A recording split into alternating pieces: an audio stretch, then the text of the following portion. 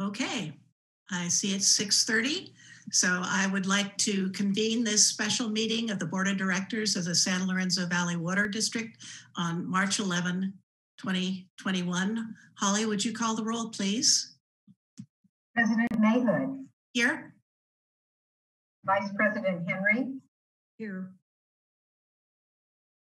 Director Fultz, Here. Director Smalley, Here. And Director Two is absent. She did uh, contact both the president and myself to say she would not be available this evening.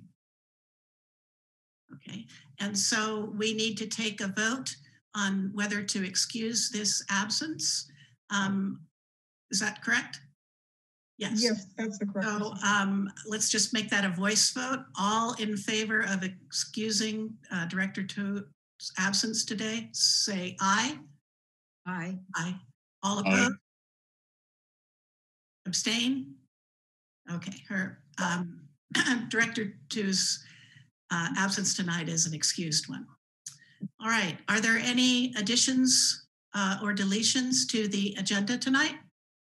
Uh, staff has none. Okay, any from other members of the board? Doesn't look like it. Okay, um, so now we go to um, oral communications, which is the portion of the agenda that's reserved for oral communications public on subjects that lie out lie within the di- jurisdiction of the district but are not on the agenda tonight. Um, if you would like to address the board, please uh, hit the raise hand button.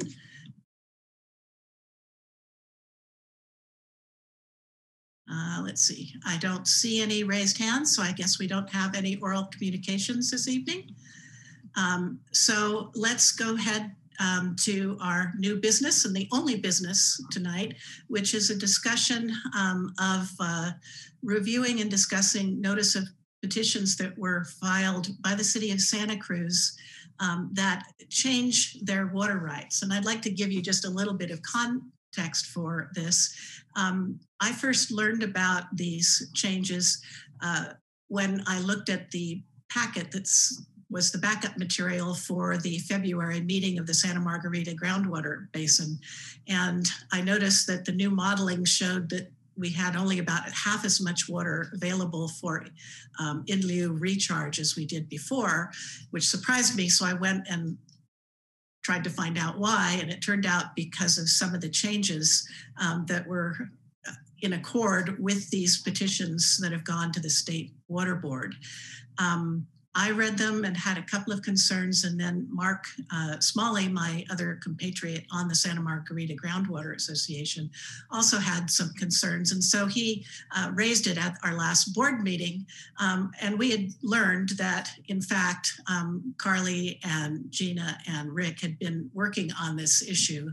And we thought it was important to um, discuss it uh, here at a board meeting. Uh, Director Fultz asked us to agendize it. Um, because any protest letter has to be submitted uh, by tomorrow, um, we had to have a special meeting. And that emphasizes that tonight is just for information only. There will be no action taken. We won't be voting on the letter. The letter has already gone out to the board uh, for any comments. So it will be sent in tomorrow um, by the deadline. But we wanted all members of the board to have an opportunity to understand what is uh, being done here and um, also so the public can be informed as well. And um, Rosemary Menard, who is Rick uh, Rogers' counterpart at the City of Santa Cruz, is with us uh, tonight. She's not here to speak or anything, but she's just here in case anybody has a question that um, they want to direct uh, towards her. Um, so with that, um, I'll turn it over to Rick. Thank you, uh, Chair. Um, as we start the, we have a, a short presentation that we'll put up. You're going to be uh, hearing us discussing and referring to several water uh, supply facilities uh, mostly pertaining to Santa Cruz, Santa Cruz water. And we thought it would be a good idea to start this presentation with some mapping to kind of give folks some ideas, you know, where these facilities are, are located. And if we can pull the, the PowerPoint up, that would be great.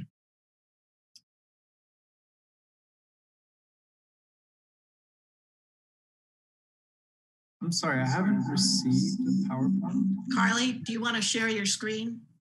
I'm not, uh, j- or I think uh, Holly, could you share, I think we share Holly's screen, or maybe you can't do it, but I think Holly has the current, current presentation.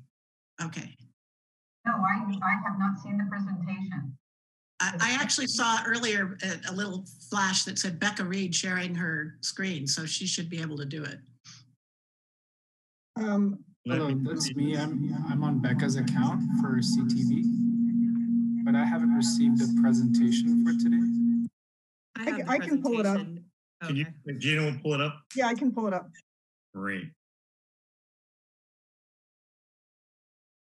My apologies. That's okay.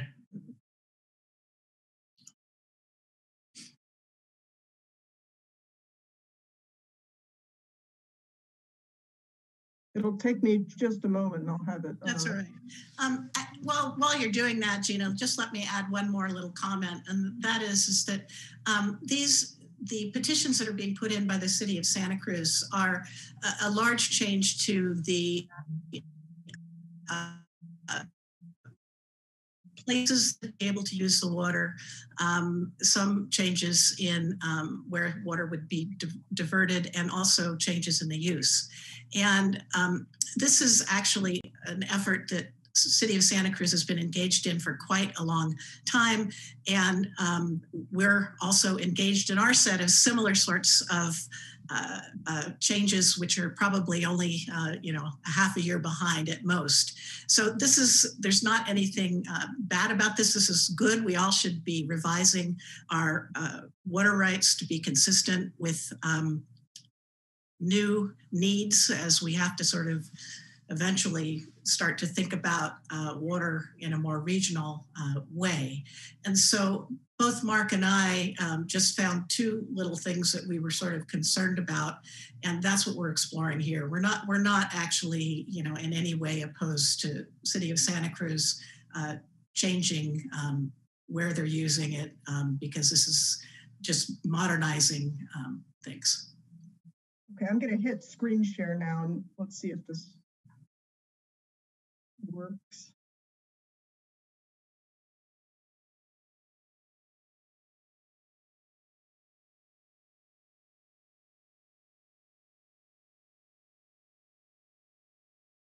Nope, Okay. Okay. All right, next slide, please, Gina, or whoever. no, hold on, it's, uh,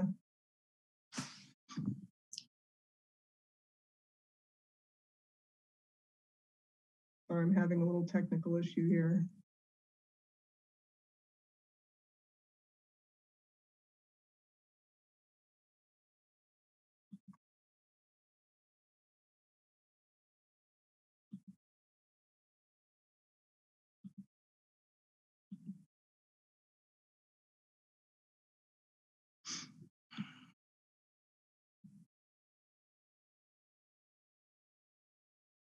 Okay, can you see it? I Yes. see screen one, or I Okay, see okay. slide one, yes. Okay, great.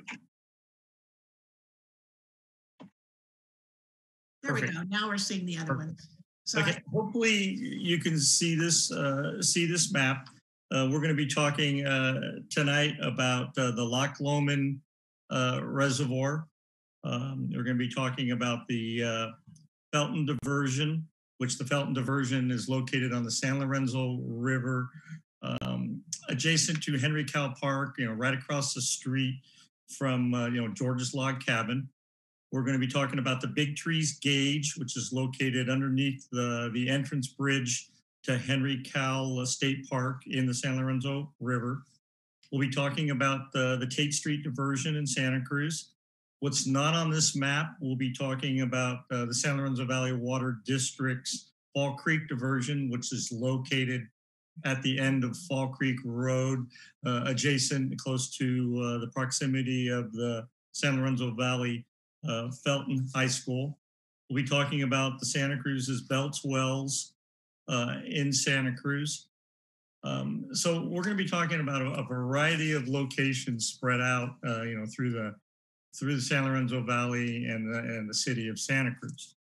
And with that, I'll, I will turn over. We have one more slide that has a little better um, uh, mapping the, the show, uh, the Felton diversion, uh, the city of Santa Cruz's service area, etc. And with that, I will turn uh, the presentation over to uh, District Legal Counsel Gina Nichols to uh, proceed with the presentation. And I, I guess I'll leave it here on the map for a moment while I do some, uh, make some introductory comments. And, um, uh, you may or may not know that, um, I, I'm not only the district's, uh, general counsel, but I'm also a water rights attorney. That's, uh, kind of the primary, uh, area of practice, um, that I focus on. So, um, these are the, the types of issues that, that I work on in addition to, to general counsel type matters. Um, and um, here, uh, by way of a little bit of background, um, as I understand it, the, the city of Santa Cruz's petitions for changes to their water rights have been in the works for more than a decade now. Um, what has prompted this latest effort is that uh, on about February 10th, the district received formal notice of the city's change petitions. So uh, there have been a lot of prior iterations of the change petitions, but public notice was was formally given uh, in February. And when that happened, of course, the district um, staff took a look at at the you know the actual uh, notice of the change petitions and the underlying petitions, which are now in presumably their final form or near final form. Um, and they asked me as, as district legal counsel and water rights counsel to take a look, as well as some technical consultants who work with the district. Um, so we reviewed the notice and um, the underlying petitions and working together identified a couple of areas of concern um, for the district. And again, echoing um, Chair Mayhood's comments, uh, you know, these aren't broad concerns about, you know, the city's uh, proposed changes to their water rights. These are specific concerns as to issues that um, that appear to have an impact on on the district uh, and its customers. So um, the two issues that we uh, identified um, that are the subject of the draft protest that you see in the board packet are, are these. First, there's potential implications for the district's uh, rights, con- contractual rights to obtain water from the city's Loch Lomond Reservoir.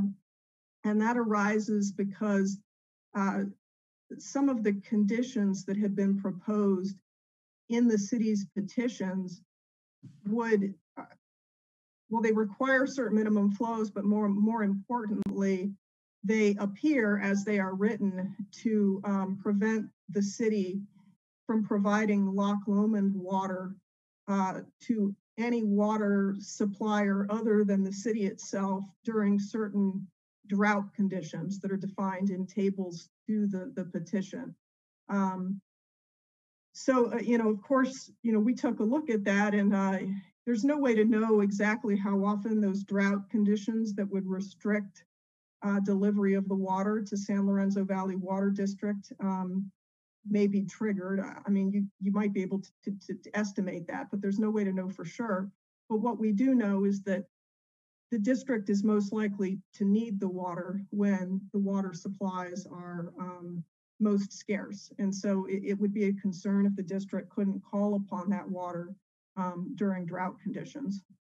So that's the first issue we identified in, in the, the protest letter.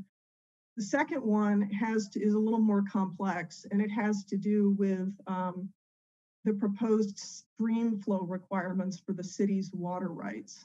Um, and these, we pulled out kind of the key tables from the petitions themselves and included them in the board packet for anybody who wants to look at them.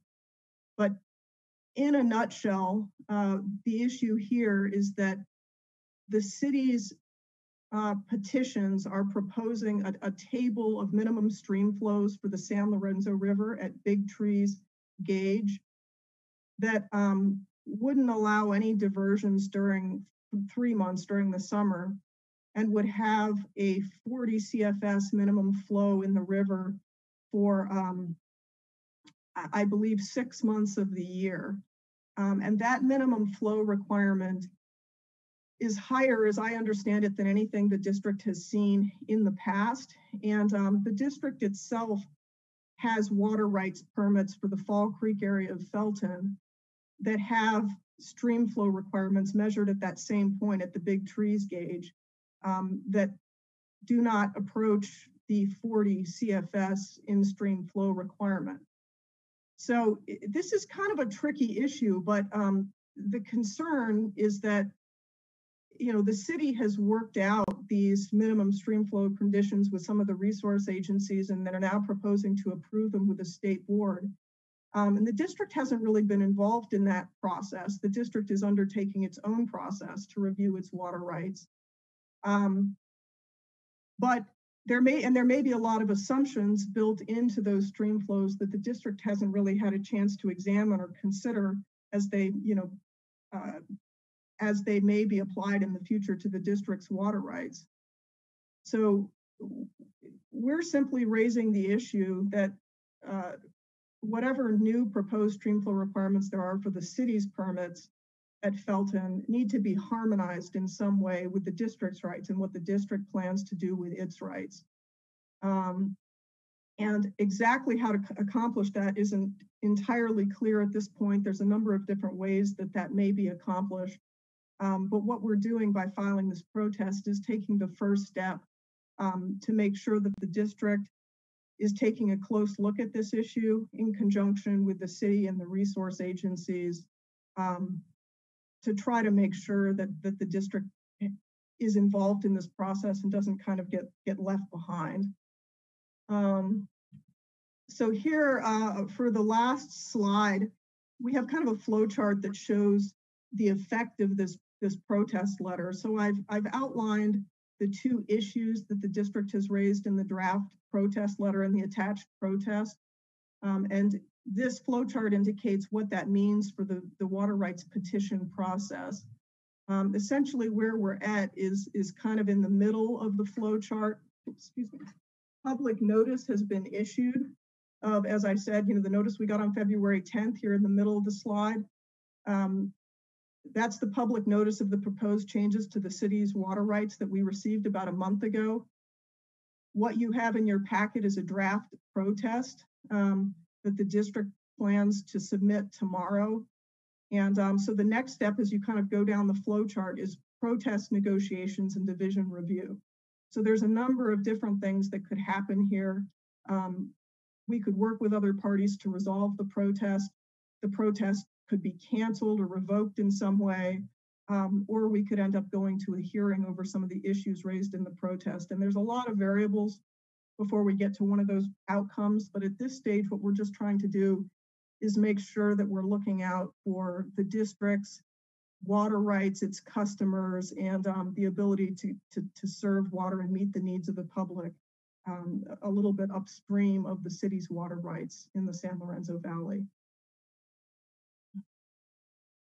And uh, Rick, uh, did I have I missed anything that you think I should cover in this part of the presentation?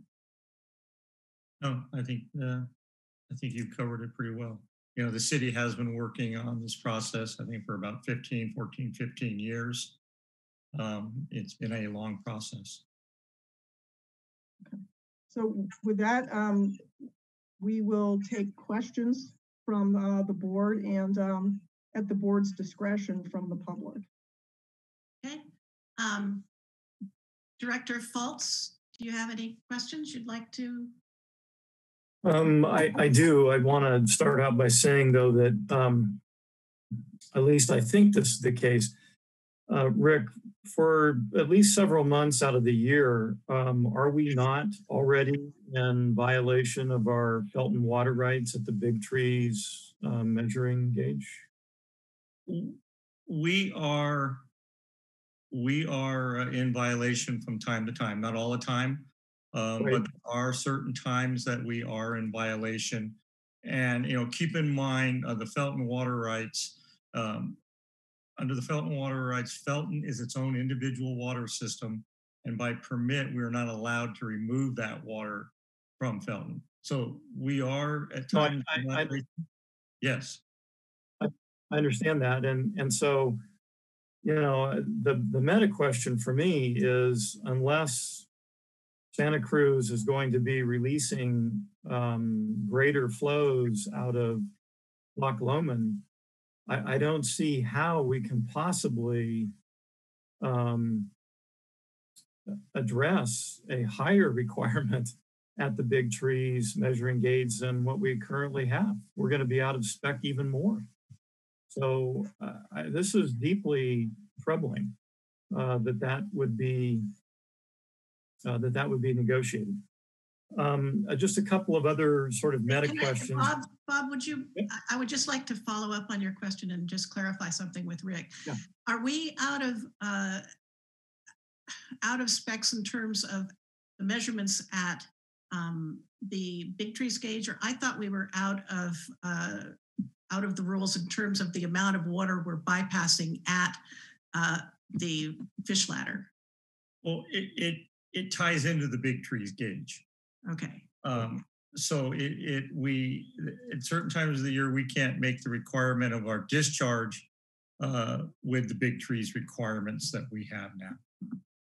So my understanding is generally speaking, we're, we're okay on Fall Creek bypass. But certain times of the year and certain years where it's drier, we're not okay at the big trees um, measurement. That's correct. Yeah, And that's general, generally speaking, Uh, obviously, uh, Gail, we'd have to look at the. Thank- details. no, th- thank you for clarifying that.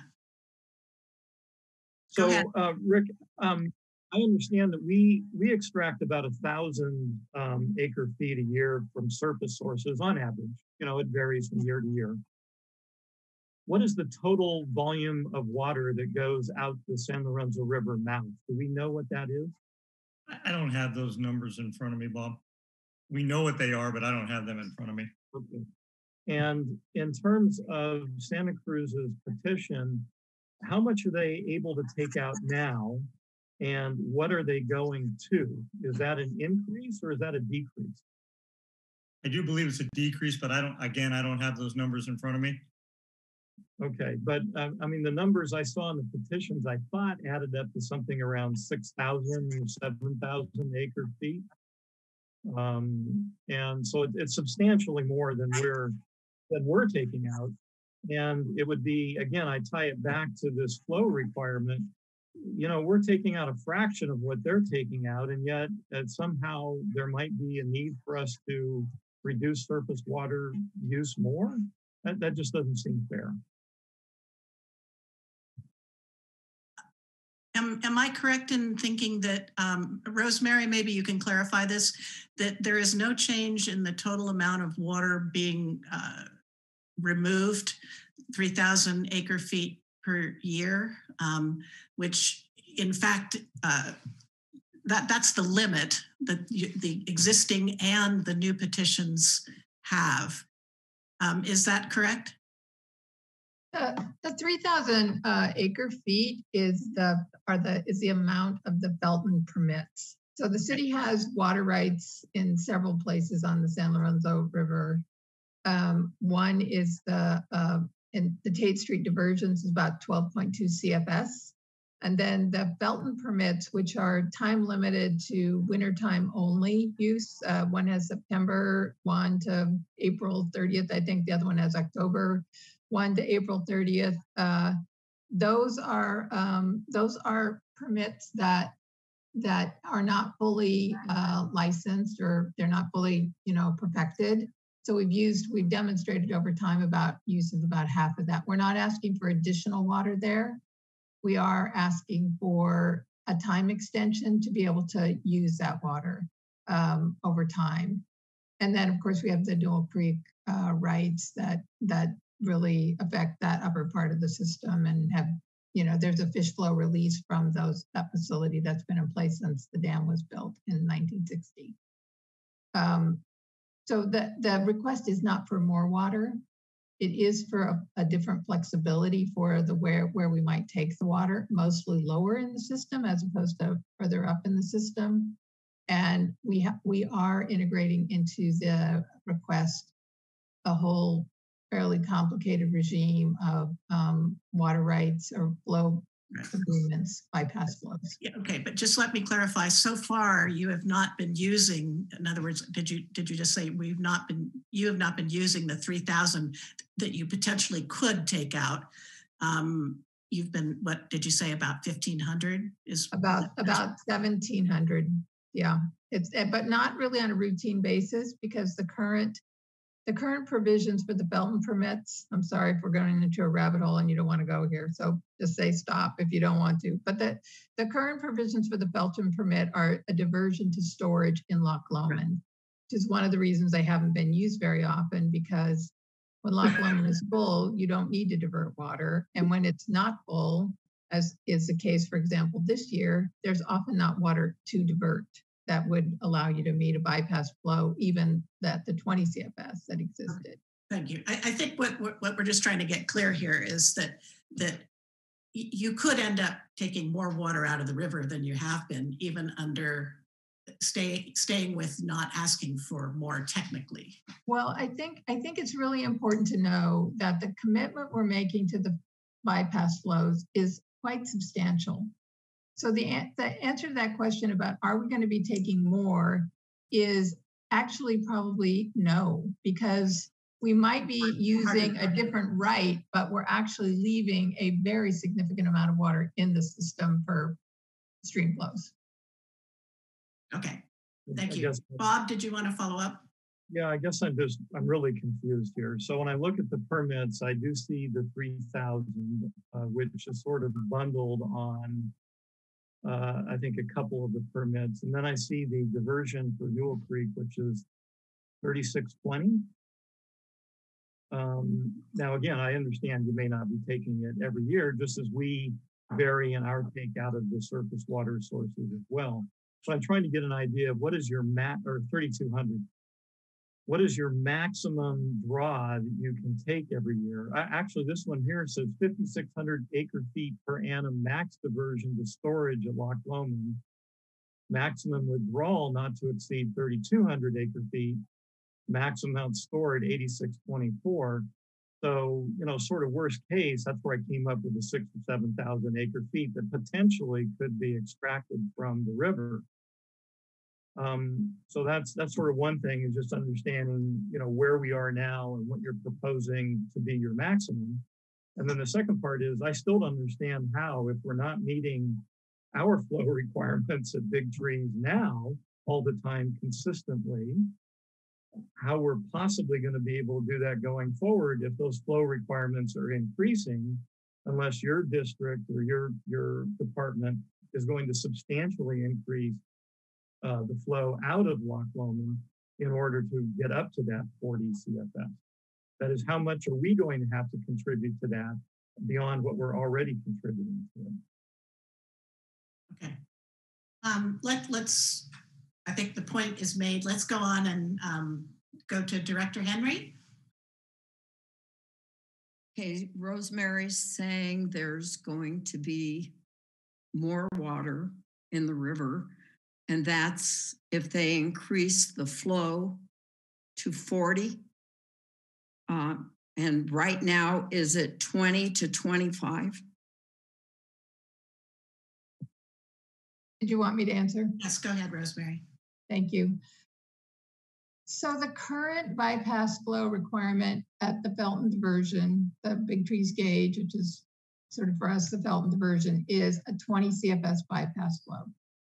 We can't operate that facility at all unless there's 20 CFS going by, by that site.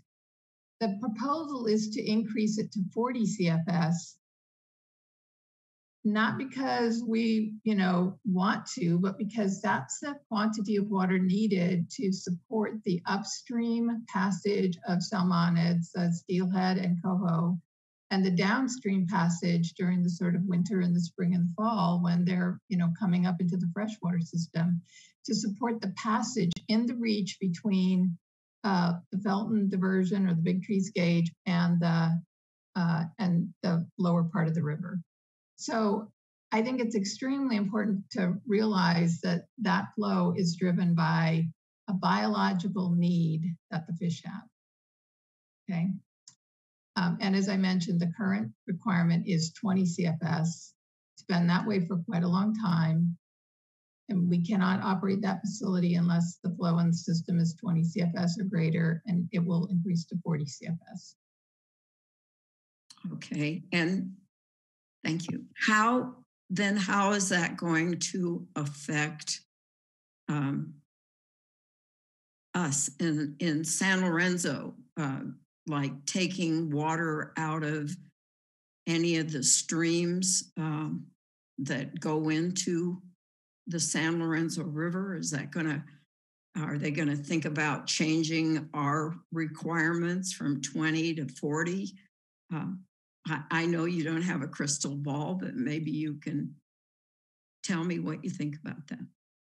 Well, I, I think the real issue is, as, as sort of a little bit discussed at the Santa Margarita meeting a couple weeks ago, I guess now, is whether the um, current control point on your system is the right control point for the management of your rights. And it may not be. And I know that's one of the things that is being discussed in your consideration of how you might ask for changes to your water rights.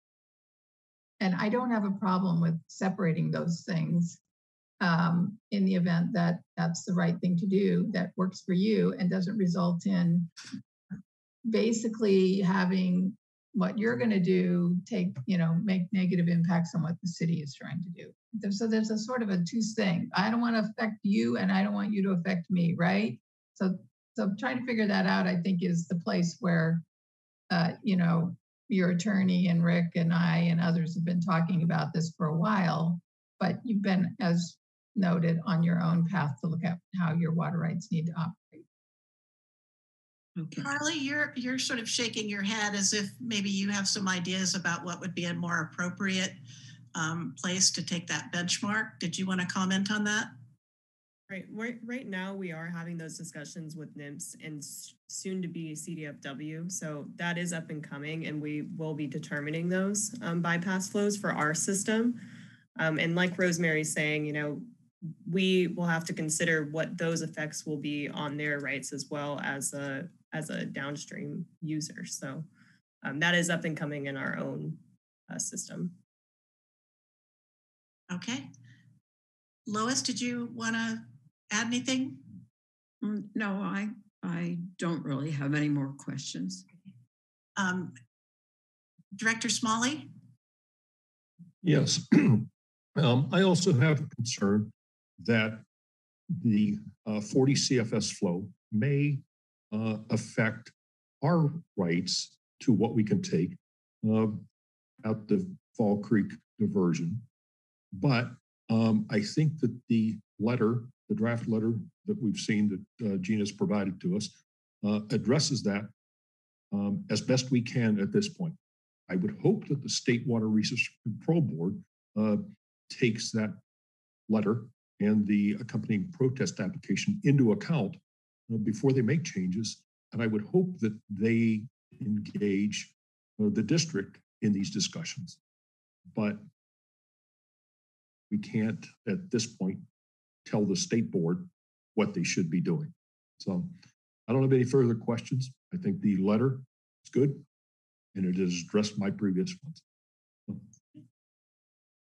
I, I would just echo that and add that one of the things about the bypass flows, which um, is, is, sort of uh, the 40 CFS, is it's a little bit ambiguously stated in the uh, petition uh, as in as footnotes, it refers to the fact that you need the 40 CFS only under certain circumstances in terms of um, whether the fish are migrating or not. And yet it looks like um, it's being applied uh, entire across the entire six months. And I think that would make a big difference to us whether uh, it actually should be just applied during certain times when the fish are migrating or spawning or whatever. Um, and who determines when those time periods uh, happen. And so that may be something that needs to also be uh, worked out. Director Fultz? Yes, thanks. I just had one other comment. I, I am concerned about our Felton permit, obviously, in terms of the bypass flow requirements there. But I'm also concerned about whether or not this might potentially impact our other surface uh, water uh, sources. That is, if there's some sense that in order to achieve 40 CFS, we're going to have to not use as much surface water, um, eh, then that that be, and from all of our sources, not just Felton, but the but the rest of the Ben Lomond Mountain sources, that's a serious strategic concern. I mean, on the one hand, we have the groundwater law saying don't use groundwater, and on the other hand, we have sort of this doubling of the bypass requirement there that makes me concerned. Are we being told don't use surface water? And so then I, you know, I understand the fish requirements, but I also understand the people requirements and our ability to serve our people. Um, and this, that doubling seems, um, especially given that we aren't meeting it now, uh, just seems uh, like we have a very large potential issue here with our ability to use surface water. If if this is really passed the way that it is, I- I'm deeply concerned. But the letter is good, and hopefully they'll pay attention. Okay. Are there any other questions from the board? Um, If not, I'll go ahead and see if there are any questions from the public in the audience. If you have any questions or comments, um, please go ahead and raise your hand. Uh, Cynthia Zenzel?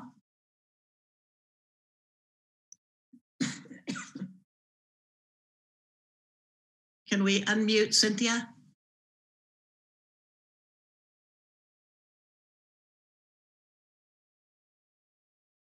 Okay, go ahead, Cynthia. Thank you.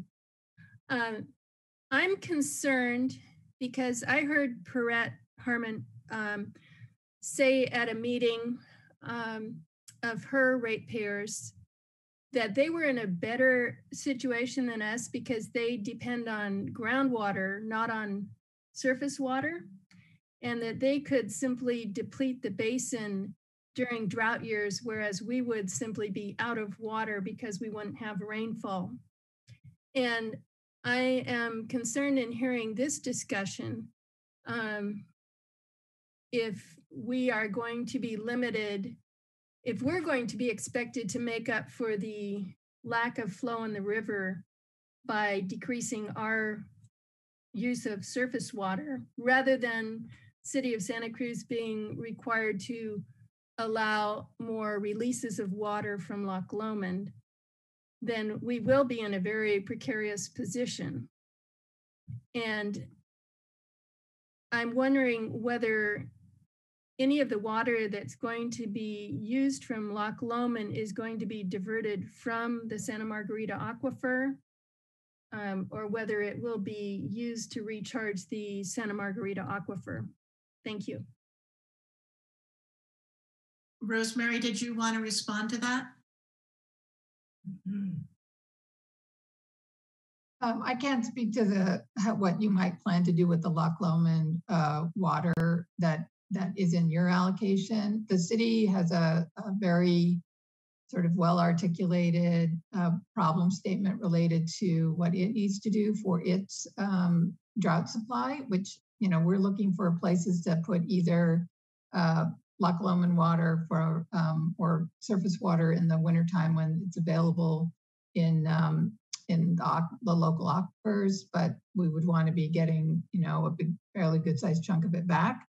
Um, I think the other issue has to do with the, um, the reality of when the crunch is on in most cases in the system, the San Lorenzo system is in the dry season.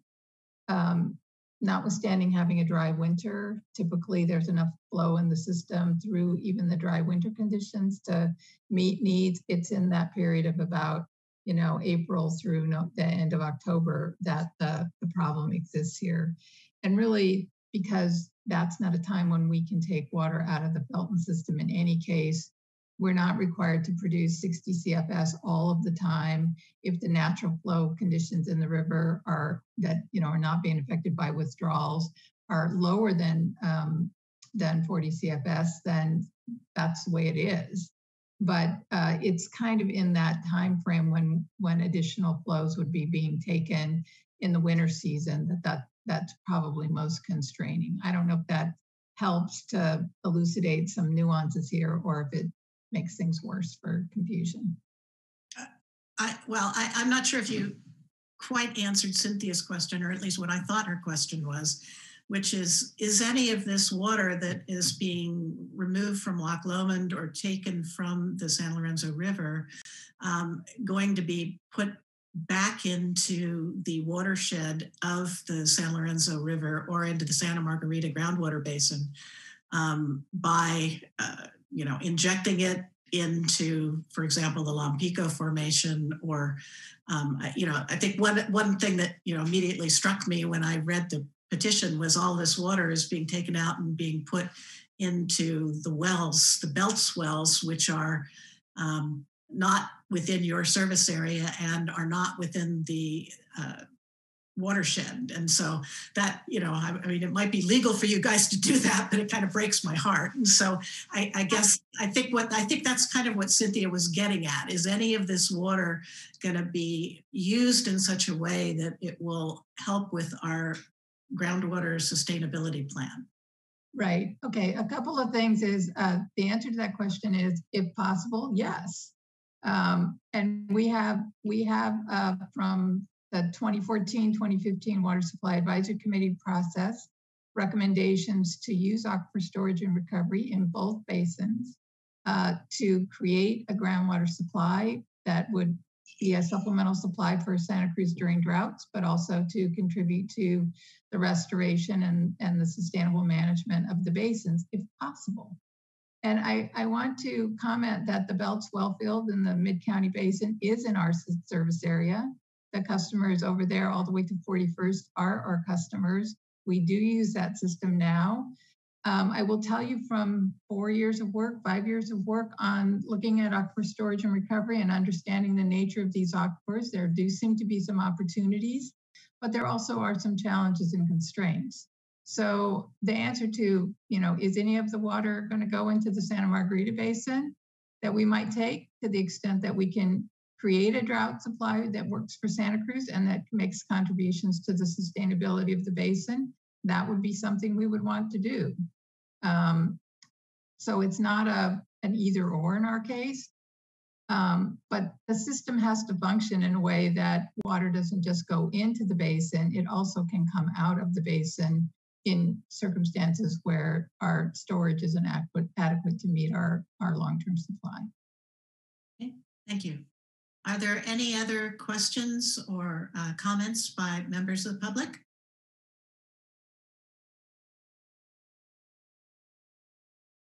Let's see, I don't, I don't see any. Um, with that, I'll go back and see if there's any from the board. Um, Director Fultz. Yeah, just just one of the thing I want to point out. Um, I, I, know we all know this, but it's important to, I think, uh, talk about it. Um, the San Lorenzo Valley Water District customers have done an outstanding job in reducing their water use, not just during drought times, but even now.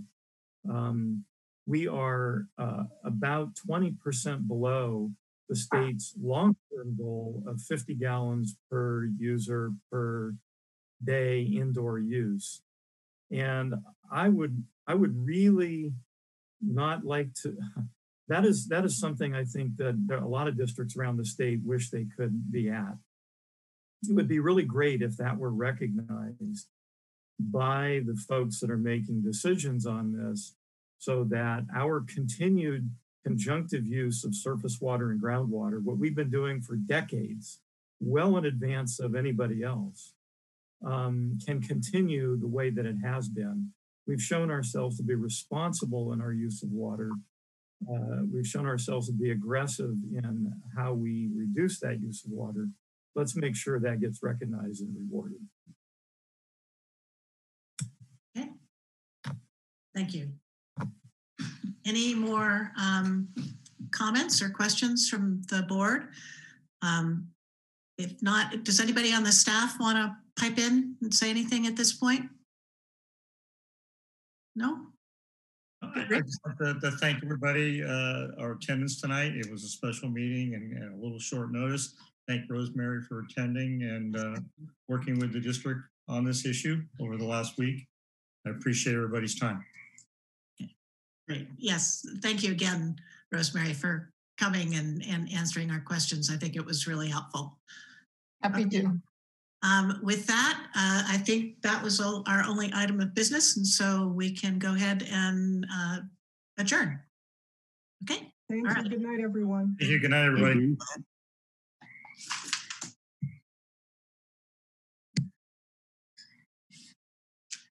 Mm -hmm.